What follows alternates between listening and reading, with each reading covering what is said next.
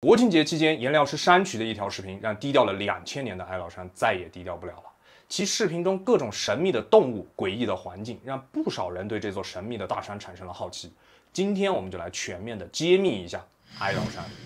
大家好，我是老柯，一个永远分不清前后鼻音的 UP 主，旁边是探秘者小仙儿。大家好，哀牢山位于中国云南省中部啊，横贯南北，呈西北东南走向，全长呢五百公里。其实哀牢山全长一千公里，但是另外五百公里在越南。哀牢山山脉北起楚雄市，一直延伸到南部的禄春县。期间啊，高山起伏，谷地深切，地势险峻多变。主峰大漠岩峰，海拔高达三千一百六十六米，平均海拔呢在两千两百米到两千七百米之间。哀牢山不仅是地理上的分界线，还是红河和沅江的分水岭，也是云南的干湿分水线。哀牢山以东的区域就比较干燥，哀牢山以西的区域由于印度洋暖湿气流呢，就显得比较湿润了。哀牢山地形复杂多样啊，由于印度洋板块和亚欧板块的挤压，这里出现了大幅度的地面褶皱，山体呢急剧隆升，由此形成了由高山、深谷、悬崖峭壁交织在一起的地貌，地貌变化极为剧烈，常见的坡度都超过了七十度，加上河流的冲刷和切割，地形呢异常险峻。这种高差变化非常大的地形，就造就了这里独特而丰富的生态环境。从山脚到山顶的气候逐渐变化，囊括了地球上六种不同的气候带。从山脚到山顶，依次为南亚热带、中亚热带。北亚热带、暖温带、温带和寒温带气候，所以整个哀牢山的气候变化是非常复杂，也是非常快的。常常在短距离内就能感受到截然不同的气温和湿度差异。又因为印度洋暖湿气流的影响啊，导致整个哀牢山区域很容易突降暴雨或者突降浓雾。也正是因为这种气候变化的因素和地理因素，造就了哀牢山极其独特的生态环境。低海拔地区呢，主要分布着亚热带常绿阔叶林；中海拔地区则是温性常绿阔叶林；高海拔地区则变成了温带针叶林了。你想，一个山六种气候带，三种不同的森林状态，所以哀牢山就成为了一座天然的植物宝库。已在哀牢山里面探明的就有约五千种植物，包括大乔木、灌木、蕨类、苔藓等多种植物类型。还拥有如云南松、木荷、烤树、红豆杉等珍稀树种，其原始森林啊是目前中国保存最完整的生态系统，是研究亚热带森林生态的理想场所。同时呢，这里还有多种珍稀物种栖息，已查明的就有约四百六十种有脊椎动物，比如说金钱豹、黑熊、孟加拉虎啊，当然现在孟加拉虎没有了，以前是有的啊，等大型野生动物，还有如哀牢蟾蜍、景东齿蟾等特有物种。所以，这不仅是一个植物宝库，还是一个动物宝库。哀牢山的名字其实源于古代的哀牢国。哀牢国是一个在公元前五世纪到公元前一世纪之间兴起于云南高原的古老部落联盟，主要分布在今天怒江和澜沧江之间的区域，也就是今天云南保山这一带。根据《汉书》的记载啊，由于哀牢国与汉朝接壤的这个地方就是这座山，所以呢就把这座山命名为哀牢山。但啊，这个说法是由史料考证出来的。哀牢山的名字来源，还有一种来源是说，在汉朝的时候，汉朝官员来到这个地方，听当地彝族人说这个地方叫啥？哀牢，哀牢，啥意思呢？就是这个地方有狼虫虎豹出没，所以就叫哀牢山。这第二种说法，彝语是吗？对，彝族话。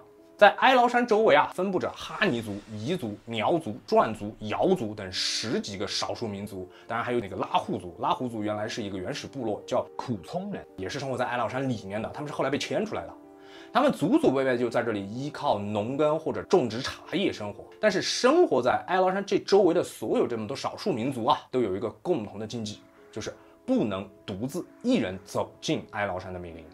还说啊，哀牢山的深处那是绝对的。人类禁区。不仅如此，如果有外人想进入哀牢山，他们的族人都必须规劝，不能进入，阻止。但是如果你不听劝进去了，死在里面没人管。这样做的原因其实是祖祖辈辈用生命的代价才换来的经验和教训。在《滇志》里面就记载：岳帅百骑追击，人畜皆毙，衣履皆无，其状甚奇。言者山中多怪，愚人喷毒，剥衣而去。这是《滇志》里面说的。岳，这个岳就是东汉时期的大将军宋岳。他的意思就是宋岳率领百骑，就是数百个骑兵追击敌人进入哀牢山，但是所有人都死在里面了，包括他的马匹也死在里面了，所有人的衣服都没了，盔甲都没有了。死状非常奇怪，有去看到的人或者旁人就说啊，这个山里面啊有很多怪物，有的怪物啊会喷毒，有的怪物呢会来剥扒人身上的这个衣服和盔甲。就和那四个失踪的地质调查员的死状有点相似。待会儿我会给你详细讲。在《楚雄县志》里面就记载，康熙二十二年，这是清朝很近了哈，两百多年前，狩猎乡民行至一谷，谷内骸骨遍地，数百具之多，刀械整齐，衣甲相叠，疑为吴军残部。这个吴就是指吴三桂啊。他这里啥意思呢？就是康熙二十二年，有狩猎的人进入到哀牢山里面的一个谷内，谷里面全是骸骨，有马有人。有数百具具之多，但是很奇怪啊，刀和兵器都整齐的放在一边，衣服和甲胄都是叠好摆在一边的，那肯定不是发生了什么战况啊，肯定不是打架形成的，那这些人就莫名其妙的就死在里面了啊，这是《楚雄县志》里面记载的，幻觉。哎，不好说，这个是康熙二十二年的事情了，是吧？也只是个猎户看到了这个死状，并不知道发生了什么，只能说啊，这个哀牢山里面肯定有什么神奇的地方。你看，两个记载都是数百人，有人有马，并且是部队进入哀牢山都活不过来。从上面我们对哀牢山的环境描述就能看出来，这个地方肯定是一个非常神秘而且危险的地方，是吧？气候变化大，地形复杂，动植物繁杂，人呢很容易迷失在里面。下面。我们就给大家讲一讲二零二一年那一次非常著名的四位地质考察队员在里面失踪的事情。二零二一年十一月十三号，四名来自中国地质调查局的队员杨敏、张金榜、张瑜、刘宇准备进入哀牢山执行一项森林资源调查任务。他们四人啊，都是中国武警黄金部队的退役人员，都是野外生存的高手。如果你了解中国黄金武警部队，就知道他们的身手，可能可以和贝爷有的一拼。这次调查的位置是哀牢山山边缘的地区，还不是最核心的地区。整个路程啊，如果快的话，五六个小时就能出来；最慢呢，也就十多个小时就可以完成了。他们本身原来的计划是十三日入山，最早呢十三号就出来，最晚十四号下午也能返回。所以呢，他们请了一个司机在奥拉山的入口等待他们，那个司机一直在等着。但是就这么四个有丰富野外生存经验、做好充足准备的地质调查员，自十三日入山后就再也没有走出来。在他们入山的时候啊，遇到了巡山员李家坤。李家坤在哀牢山做了二十年的巡山员，他非常清楚，哀牢山里面是有多危险。所以在十四日下午，他见到四名地质调查员还没有出来，立马就上报了情况。十一月十五日，搜救工作就全面展开了，各路专业救援队、无人机、直升机就先后加入了救援，甚至从成都调动了先进的低空通讯和定位飞机，参与到此次救援行动中。这个阵仗和这个救援组织的速度，可以看出啊，当地的人是非常清楚进入哀牢山是一件多么危险的事情的。然而，由于哀牢山的特殊地理环境，搜救的难度是非常大的。有时候啊，甚至救援队队员本身都会身处险境之中。在长达九天八夜的搜救后，十一月二十二日凌晨，救援队终于在距离队员计划地点约一点八五公里的地方找到了四名遇难者的遗体。四人被发现时啊，他们衣物基本是完好的，身上没有明显的外伤，但是有一名队员掀起了上衣，脸上呢还挂着诡异的微笑。其他队员的身体和位置的状态也显得很奇怪，有的人是仰坐在地，有的人就是蜷缩在树根旁边，死状极其诡异。以下呢就是几个非常值得注意的细节。第一个是遗体的分布与姿势，四人的遗体被发现的时候啊，和俄罗斯的迪亚特洛夫事件非常像，他们不是在一块儿的。而是三个人位于三个不同的方向，还有一个人在离三个人的远处的一个陡坡下面。虽然他们的位置彼此不是非常远，但是大约也有几百米的距离，呈现出了一种分头逃跑的状态，就好像他们在最后一刻在试图分头逃离什么东西。第二个就是。衣物虽然完整，但又有异常。他们四人被发现的时候，虽然四人的衣物基本完好，没有被野兽撕咬或者很明显的外伤的痕迹，但是其中一位被发现的时候，刚才说了，衣服是被掀起来的，姿势呢像他自己要脱衣服，而还有一个呢是脱掉了部分的衣物，这个很奇怪，因为据李家坤说，十四号那天在哀牢山里面下了大雨。不应该出现脱衣服的情况。所以呢，专家就推断可能是不是因为失温，失温的时候人会觉得很热，就会脱衣服，导致了他们四人死亡呢？第三点，诡异的面部表情。四人中啊，离他们最远的那个遇难者，就是在陡坡下方那一位，面部呢露出了一种奇怪的微笑，仿佛是在享受一件非常舒服的事情一样。还有就是现场遗留物的反常，在遗体附近啊，搜救人员发现了他们随身携带的物品，比如说背包、雨衣、工具等等。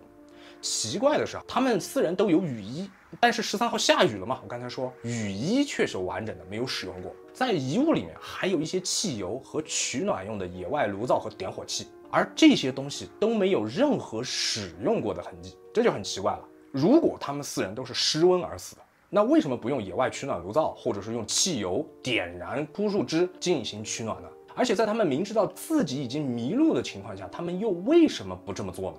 是难道他们没有来得及使用就已经遇难了？遇难了？但是这些东西分布的位置不太对，为啥？这些东西不是在他们身边，而是他们奔跑的沿途，像是他们在观瞻之中把东西这样遗落在那个地方的感觉。还有最后一个最奇怪的地方，就是四名队员进入哀牢山的时候，他们是带了先进的 RTK 卫星定位仪的。这种 RTK 卫星定位仪可以在野外做到厘米级的定位，是非常先进的，但是从未打开过，电量都是满的。作为四个有经验、有能力，可能作战也好、作业也好，非常有实力的人，所以这就很反常。其实有人会说啊，是不是因为在哀牢山里面的地磁异常导致了他们没有打开 RTK 这个定位设备？其实是有可能的。刚才我也提到啊，在救援行动的时候，从成都调动了一架低空通讯和定位飞机。其实原因就是搜救队员在搜救时发现自己在哀牢山里面也没有办法定位，也没有信号。如果自己都没有定位和信号，搜救队员自己就很危险了。所以调动了飞机。每当飞机通过上空的时候，短时间内搜救队还是有信号的，相对要安全一些。这个就是二零二一年非常著名的哀牢山失踪事件了。中央电视台也专门在《今日说法》栏目里面做过报道。这一次报道和之前《今日说法》的报道都不一样，为什么？这次《今日说法》的报道把这些疑点完整的报道了出来，并且没有给出任何解答。这个《经济说法》节目里面也说到，哀牢山里面有地磁异常这种情况，官方认证的有地磁异常的情况啊。对啊，然后我在想，这四名队员是为我们国家地质部门来做地质勘测，地质部门应该知道里面有这种地磁异常的情况，为什么还是让他们拿个 RTK 就来了呢？第一个啊，首先这四个人。最小的二十五岁，最大的三十二岁，都是从黄金部队里面服役出来的。第二个，三十二岁相对年龄大的，有多次进入哀牢山的经验。哦，他进去过。对，但不是这一条路。第二，RTK 是现在最先进的，它不仅可以定自己的位置，它还能向卫星发送自己的位置。那应该派个直升机。也没有更好的。它并不是进入哀牢山的核心区域，它只是哀牢山的边缘区域，算是县级保护区。还有最后一个点，我看过很多这种资料，住在山周围的很多人都说山里面会有地磁异常，但是。不一定在哪，哦，地磁异常可能会移动，可能会移动，可能在某些情况下，它的这个地方你今天能收到信号，明天不一定。还有，待会儿我会给你讲一个我们采访到的参与救援的人，当然他不是参与那次救援，他是现在一直在哀牢山周围做救援队的这么一个人。刚才呢是二零二一年的那次著名的四名地质调查队员失踪案，嗯，下面另一件事发生在哀牢山腹地的一个偏远村庄石崖口村一起猝死事件。一九九三年七月的一天啊，当地村民者富才正在家中干活，突然听到母亲倒在了床边啊，他冲进去一看，母亲没有生气了。就在这一个慌乱的瞬间，妻子也在门外突然倒地，剧烈抽搐。不久之后，同样失去了呼吸。者富才一看啊，一天之内妻子、母亲接连去世，很奇怪的就猝死了。他顾不上弄清楚什么原具体原因啊，怀着悲痛通知了自己的亲朋好友来处理后事。然而令人意外的是。赭富才的小姨子在奔三返回家的路上，竟然也无端倒地，猝然去世。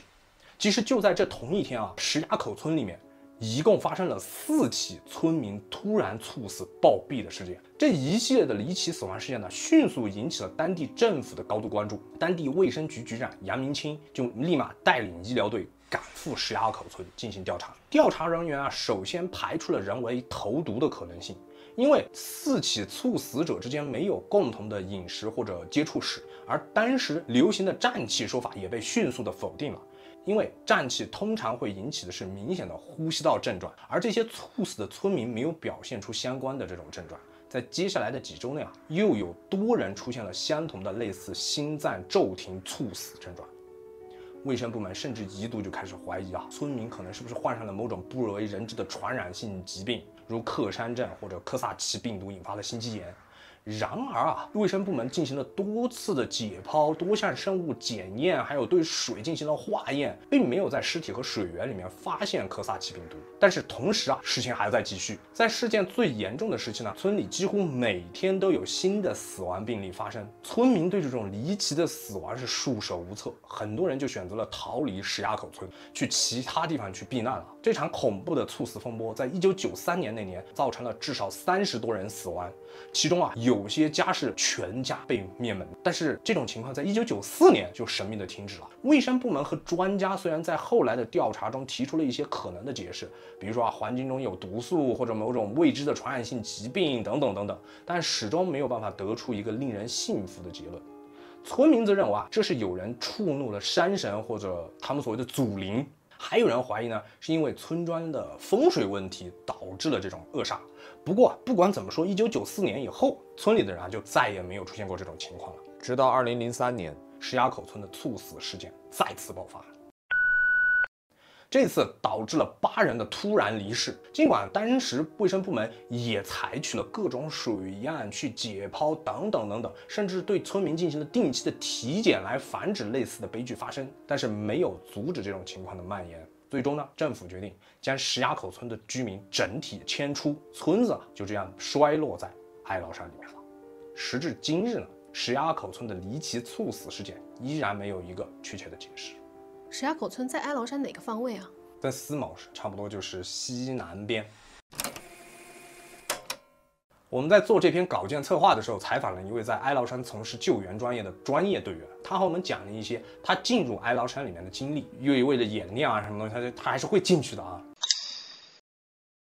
进入哀牢山第一的直观感受就是感觉，因为植被丛生，地形复杂。人在里面的消耗非常大，会非常累。而且刚才我们说到，哀牢山大部分地区呢，它这个坡度都在七十度左右，基本上你爬山就是双手双脚并用的，在其中行走啊，两百米的距离往往就可能需要一个多小时的时间，在体力飞速消耗的同时啊，还需要随时警惕周围的野生猛兽，因为哀牢山里面的熊、豹子是很多的，有时候那些熊会躲在草丛里突然发起攻击，还是很危险的。根据他的描述，哀牢山里面其实最危险的不是你能看得见的动物，而是昆虫。在哀牢山里面有很多种昆虫都是有毒的，蛰到就会导致红肿、疼痛，甚至是高烧或者产生幻觉，从而危及到生命。他就提到啊，他在哀牢山里面见过一种大型的虎蜂，他其实不知道叫什么，但是大概有这么大。哇！最厉害的是这种虎蜂是吃肉的，它会来撕咬人类外露的皮肤。我怀疑它是不是哀牢山里面是不是有很多那种以前已经灭绝的生物？有可能。或者《山海经》里的生物，也有可能在里面。如果第一次进去的人，会精神消耗也会非常大。为什么？